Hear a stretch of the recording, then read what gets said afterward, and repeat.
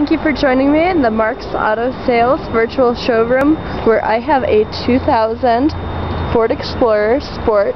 This is a two-door, two-door, two-wheel drive SUV, seats four.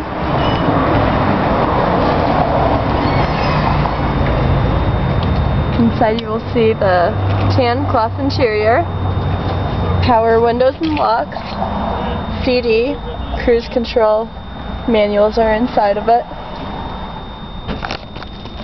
Taking a look at the back seat. Nice condition. This has 83,000 miles.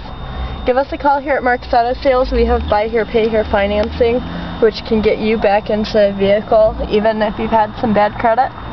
Thanks for checking out the showroom. Bye-bye.